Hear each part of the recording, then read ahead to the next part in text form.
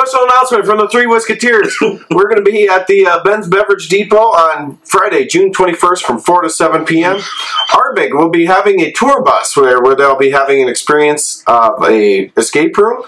Uh, you can take a virtual tour. There'll be some swag that uh, bottle with bottle engravings if you go inside. It's a great scotch. Um, And, and you, there will be a tasting. there will be a tasting, And, Curtis's and it's, favorite. it's a Friday after work, 4 to 7, June 21st.